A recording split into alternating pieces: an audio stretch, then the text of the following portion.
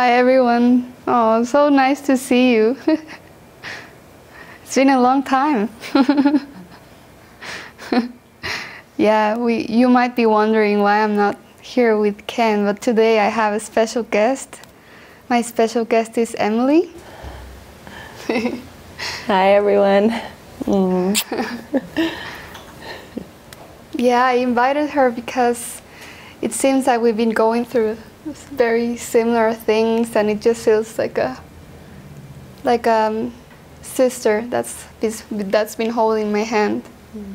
through these changes, and yeah, it's it's all started changing, and my relationship with Ken feels like it's transforming. That's why he's not right now with me. So we're going through a transformation of and going into these new different missions and so yeah that's why i'm here today and yeah i just wanted to share with you what's been going on with these few weeks for me and, the changes and the new adventures and the things that were left behind and I was I heard I think you heard that I was on a trip to my hometown in Guatemala and I was in my cousin's wedding. And that trip came in a very interesting moment. I was, we were working a lot with Ken on our relationship and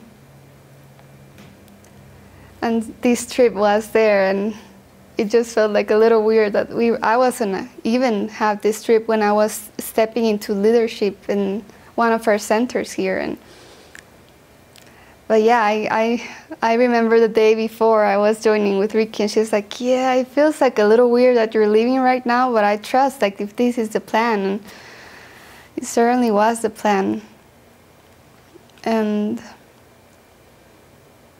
yeah, that trip was very meaningful to me because I was there just to love and to extend the joy, and I was so, so happy. It's like the, the trip that I went home, and it was absolutely beautiful with my family and my friends, and I just got into my strength somehow. Like there were all these symbols and all these miracles coming my way, and even in the airport, there was a nun that sat next to me and she was just talking to me about different things and then she asked me what's your name? And i said anna. Really? She's like my name is anna too. And she said my name is anna faith. And then she said my last name is really interesting it's constant. And i was like wow that was so beautiful. She was like anna of the constant faith and I feel like those were like the symbols that were helping me get in touch with a deeper calling that I have. Like I was, it's like somehow in the relationship I was lost somehow in the purpose. I got lost. And yeah, she was just a beautiful symbol of my devotion and the prayer of my heart and it was like she was helping me get in touch with my calling somehow. But it might look, I might not look exactly the way that it does for her, but it was so helpful. And then on the plane, I was, I opened the course book like, okay, what, what is it that you want me to see, that you want to tell me? And it was lesson 98 I accept my part in God's plans for salvation. Yeah, and I, I didn't even know what I was saying yes to.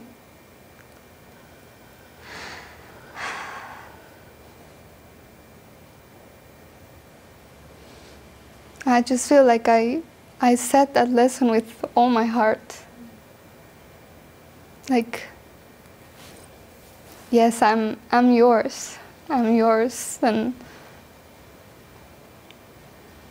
like even that line my life is not my own and I'm just here. Use me.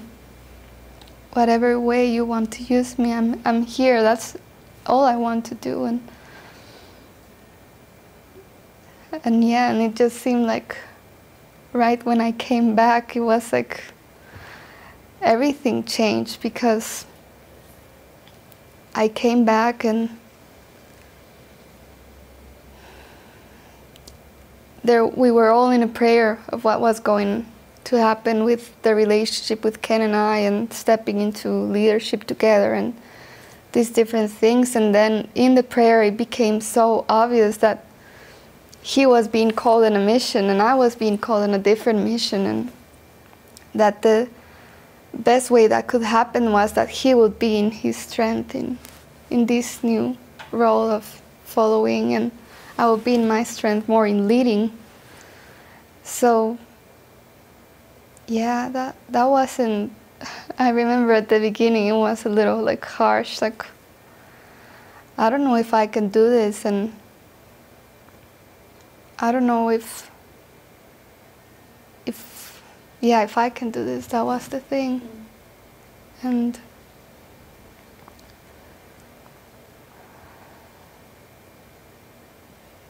yeah, I could. With that, it was, we had a beautiful meeting with Lisa and Jason. You were there, Emily, mm-hmm. and I was just heartbroken when I went into that meeting. And yeah, there was a lot of pain coming up for me, and yeah, of the relationship, like stopping to being the way that it was somehow. And but I, I remember what Lisa said, like, you just need to be in your devotion to God. And yeah, I went through very, like, the, in that moment, I was like, yes, this feels so beautiful. I was ready for this mission. I'm going to be in leadership in this center and leading Spanish team and different things. And I was like, yes, yes, yes. And then after that, all this grief came and all this sadness and loss and it was it was very deep. I know you were like holding me. Yeah, I think it was just so beautiful to see like how how it was all orchestrated by the spirit because you had been experiencing a lot of darkness coming up and moving into this new phase of coming to La Casa and overseeing the center and the Spanish ministry. You could feel in your mind there was something really big coming in, but it was this this intense darkness that was coming up for you and for Ken, and um, and then this trip seemed to come in for you to go back and visit your family. And you were even mm-hmm. saying it was unlike any other trip you've ever had home. It was like previous times when you'd gone home, it felt more like you were facing more thoughts in your mind. But this time it was just like this love trip. And, you know, from what you've shared with me about that trip, it was like actually reconnecting with your desire for God. Mm-hmm. And I think that that's what a lot of that darkness was beforehand, like you were saying at the beginning of the show, just you had disconnected in some way for your purpose, like what you had come here for. And it was this mm-hmm. relationship with God. And the Spirit gives these, you know, seeming interpersonal relationships, or they're not really interpersonal relationships, but the, the purpose of them is to strengthen that relationship with God. They're not relationships in and of themselves.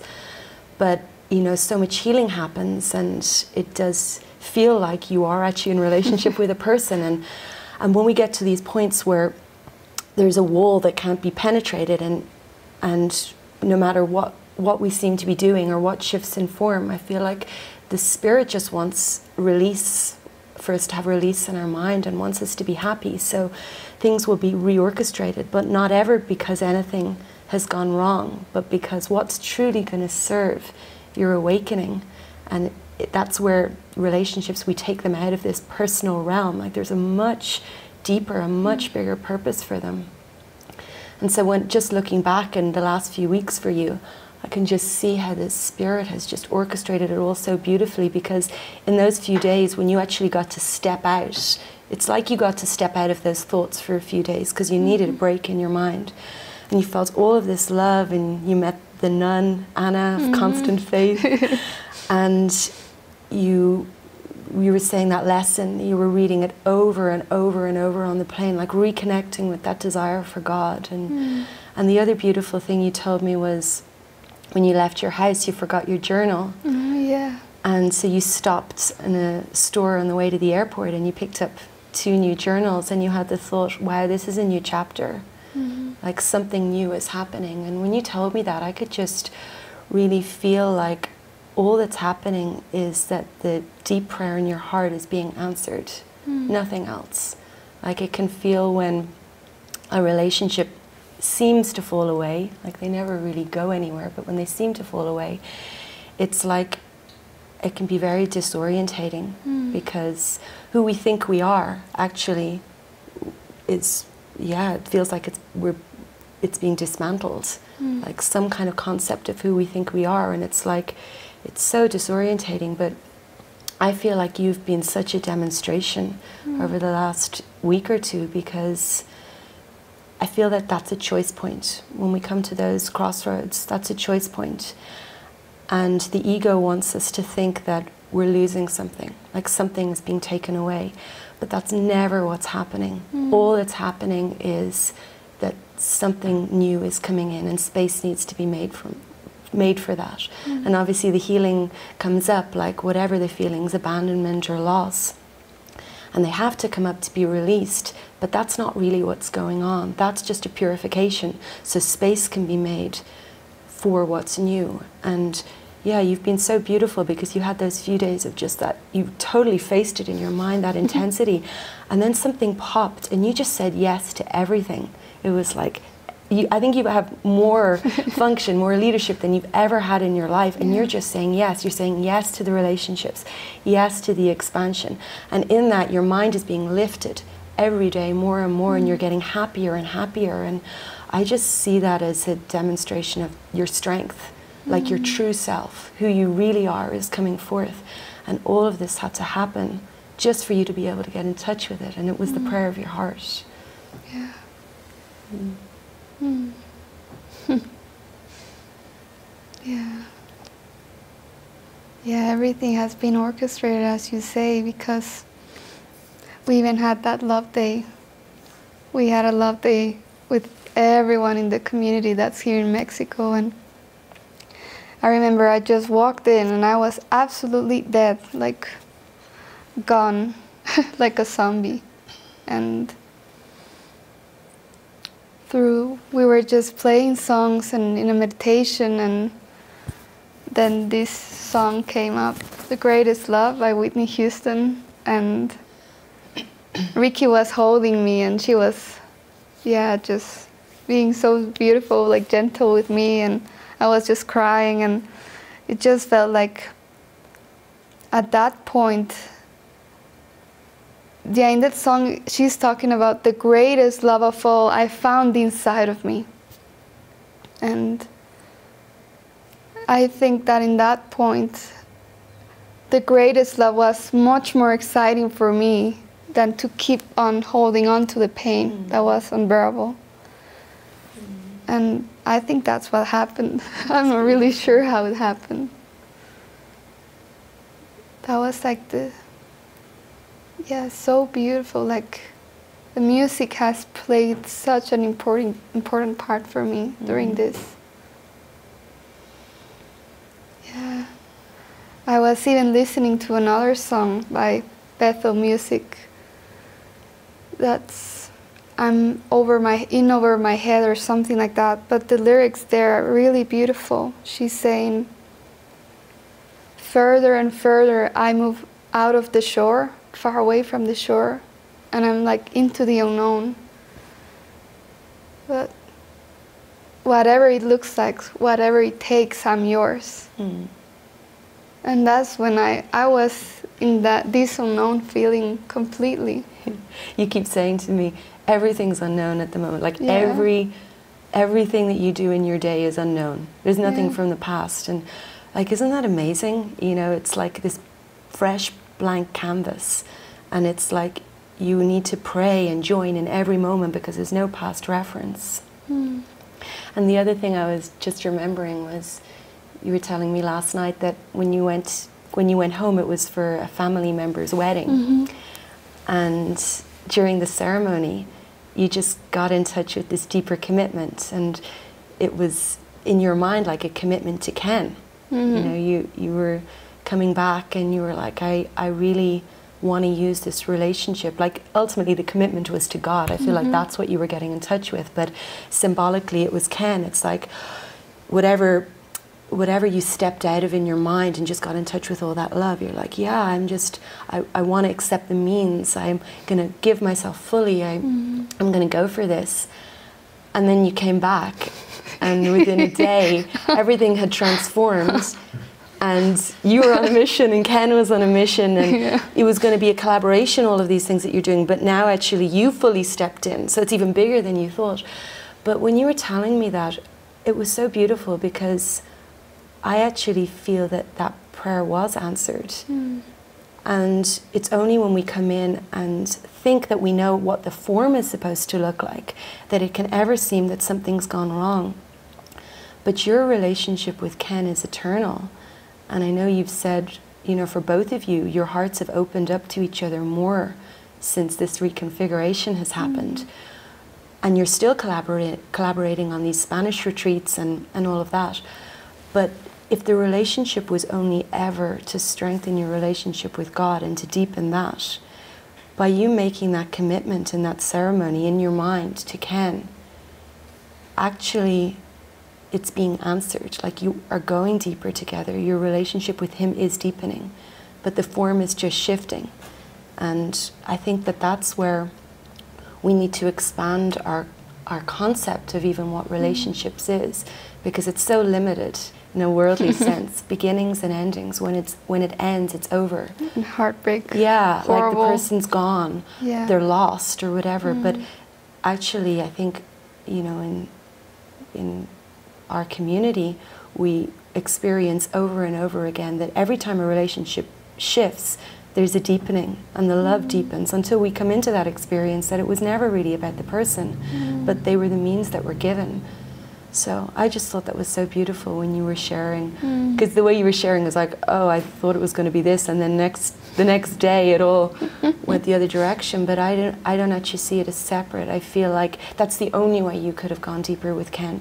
Yeah. The other way, it was stagnant. There was, there was no deepening in the relationship, and now there is, and you don't know what the spirit has in store or how it's going to look. But yeah, it's the unknown, and that's that's exciting. Yeah, yeah, it's beautiful. And even, yeah, like all my other past relationships have been like, as you say, in the world, like it's over, gone, and all these different things. And when I was going through all that pain, you said, This is for you to see that there is no loss. And I was holding that in my heart, and yeah, it was like I saw him again, and it was like, oh my God, I, I can I could never ever stop loving you. Mm. Like I don't have to try even. I can just love you as I love you and as I loved you, and Mm. it just feels like it's deeper now. It's like the only thing that's been taken away is the pain, Mm. like the pain and the limits. But yeah, the love is supposed to remain. That was always what was true. yeah, And and what like what configuration is going to support that? Really, that's the only question. That's all we want. But it's like in that section from the course beyond. I think it's beyond all idols. Like when you decide on the form, you lose the understanding of like the meaning. Mm.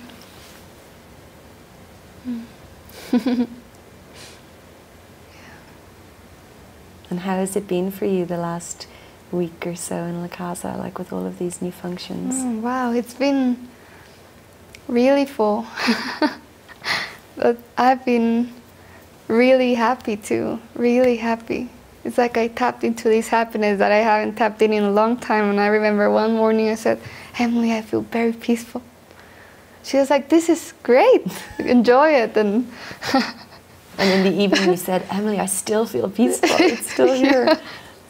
Yeah, the, during the relationship, it was very intense. So it's like, it would be just a few hours and I was feeling great and then other things were coming up for different things and but yeah even that day I had a whole peaceful day that was amazing and then two days where I was completely happy and I remember I even have a, had a meeting with Ken. I was so happy to see him, so so happy to see him, and it was for me. It was like I was just a little girl playing with my friend. That's always been this beautiful friend that I've mm. had, and yeah, it just feels very sweet. Mm. now even Andy's at La Casa. Like he felt this, he felt impelled to come to Mexico. Mm. And there's like a beautiful collaboration there as well. And I think for both of you, even seeing that, like that's a primary relationship now. Like it's a different form than the relationship with Ken. But you guys need to be linked in mind. And if you're not, nothing's really stable at La Casa mm. at all. So. Oh God, I'm so grateful that I have Andy with me right now. He's so beautiful and yeah, as soon as he came in, I felt the strength underneath me. Like, yeah, there was like a day where the changes were happening, but he was coming at night. During that day, it was very dark and mm. weird. And but as soon as he stepped into the door, I just, I just felt like some kind of relief. Mm. Like, I'm so grateful. Like so so grateful yeah, support that I never thought would be there. Mm. It's all showing up, all showing up. And it's like I'm so excited about this new mission because I have to be in so much prayer and so tuned in to be so precise.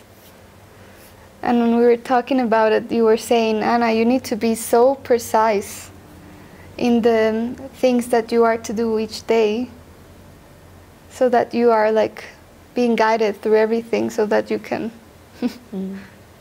be happy and not be into stress or doer or yeah yeah it's like when we start to get a lot of function the way i see it is it's that it's that deeper call to prayer because if you do one thing that you weren't supposed to do for 10 minutes you start to feel that pressure in the mind because there's actually no space mm. jesus wants to use you so fully in every moment that you need to know what he wants you to be doing, mm. or else it just starts to get really disorientating. So it's a real speed up in the mind when we have we given all of these functions and leadership roles. It's like truly you have to pay so much attention to how you feel. Like, is this really what I'm supposed to be doing in the moment? Because mm. it's like there's the, the margin for error is like being decreased, which is good. And I feel happy about that. Yeah. So happy. It's like I'm so excited. It's like, yes, I want to be doing what you will for me, like mm. what you're guiding me to do, and overall, like getting like in this closer relationship with the spirit is what I want. Mm. It's really what I want, and then all the means are there for me to practice. Yeah. So I just feel so grateful for that. yeah, and all the all the supports given as well, like if a, there's a reconfiguration and something seems to fall away, whatever is needed, the Spirit will bring in. Will bring in the people, the resources, the mind support, whatever it is. And I think you're experiencing that. Yeah. You know, you've moved into the library bedroom now, and you have the library. And you're saying to me the other day, it feels like a house. It's so big in here, but but you need that. You need the library so you can start joining one on one with you know the residents at La Casa. So like whatever we're given is only to, to support our function. Mm. It's not because of preferences or because we personally want something. You know, it can seem to match up sometimes. Mm-hmm. Okay, I've got mm-hmm. this beautiful room, but underneath it is it what is it for? It's to serve the whole. It's so Jesus can use me. It's so that I can be in my strength. Mm. and yeah, then there's no guilt beautiful. with any of it. no. I was moving in. It's like, wow, this is new. yeah, very new. It all feels new. That really felt like I came from one trip to another trip, like to this new dimension. And it's like even thinking about the past, it just feels like a distant dream somehow. Mm. It was like something changed completely. I came from that trip so lifted up, so lifted up and so happy and it was like it gave me that strength to be able to move into this new chapter. Mm. And that's it. When you're so fully in the present moment, and you are at the moment because you've you've got all of this function, and Jesus is just using you. Then the past is a distant memory. The only way the past can be strong and real in our mind is if we're living there in our mind. Mm. But when you're when you're being used in the present moment by Jesus, there really is nothing else. Mm. Mm. the present moment. I was reading a quote today. Is mm, there's a gift waiting for me in the present. And that feels so beautiful. Like that's when I'll be open to hear the spirit and Yeah. be in that connection. Yeah. And it even feels beautiful that back at home I printed this picture of Jesus and brought it with me. And it's right beside me on my bed. So it's like the very first thing I do when I wake up is I see him. It's like, okay, you are with me. I know you're with me. And mm. at night is the same. And during the day, he's there. And I don't know, it just feels like this relationship is like really deepening somehow. Yeah. Mm, It's just a beautiful demonstration of how it's never about the form or even what we're doing, like overseeing a center or organizing a retreat. It's all just given to deepen that relationship with Jesus. And if it's not being used for that, it feels empty. Yeah. And that's when the doer comes in. hmm It's like we have to keep coming back to what is it for? Yeah. What is it for? And if we're not feeling that deepening, if we're not feeling that expansion, it's like to come back to prayer Mhm. because why else would we do anything? Yeah. That was that was really important for me getting really in touch what's the desire of my heart before I even I even was getting into my projects or whatever like why am I doing this if it's only about the things I seem to have to do it will be very empty just like any other job like if the purpose is not there strongly it's just lost again.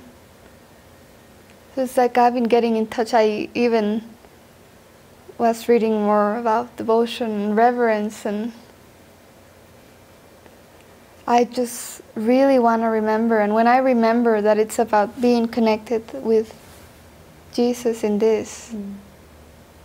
it's like oh yeah it's not about what I have to do at all. I don't feel I don't think I can do what I'm being put in to do. or even if I think I know. That's not the case. I didn't came here for that. Mm. You actually said to me, was it the other day, before I came to community, I was like really competent in everything. Like everything I tried, I got all of this re- these reflections of, oh wow, art, you're so great at art or music, whatever it was. And then you then and then I came to community, and it that was it was very different. but then you see that it's not about are you good or bad at things in the world. It was never about that. It's now you have a prayer to mm. heal that you're doing anything. So you can't get those reflections and witnesses of, oh, good job, Ana, well mm-hmm. done, because it's not gonna it's not gonna deepen that relationship. No, So- exactly. That's so beautiful. Yeah, I'm so grateful that you were here on my show, Emily. Yeah, I'm grateful too.